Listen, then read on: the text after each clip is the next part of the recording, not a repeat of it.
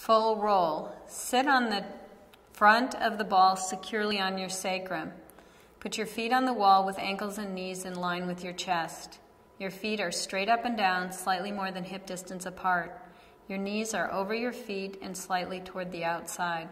Hold a bell directly overhead with straight arms and lift your torso.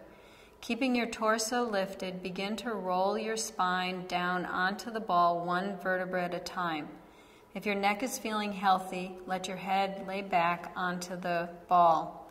To come up, bring your chin to your chest, then lift through your torso and swiftly lengthen your spine and torso up to the ceiling.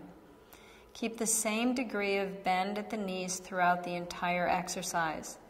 Think about control and articulation of the spine as you roll down. Lift the torso up to the ceiling as you come up. Continue to repeat. Some of the key points for this exercise include lift the torso to the ceiling, hollow the abs deeply, get full lengthening of the spine, and controlled articulation of the spine.